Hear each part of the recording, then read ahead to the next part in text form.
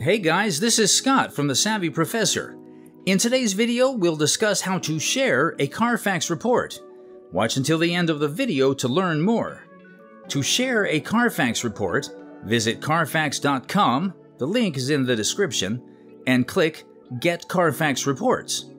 Enter the car's vehicle identification number and click Get Carfax Reports. Next, enter your payment details and click Buy Now Carfax will email your receipt and a link to the report. You can forward this link to the prospective buyer. It's worth noting that the link is valid for 14 days. Alternatively, download the report as a PDF and share it with your prospective buyer. Here's how. Open your Carfax report on your computer and right click anywhere on the screen. Select the Print option and choose Save as PDF under Destination. Click Save. Once done, navigate to the Download section and open the document.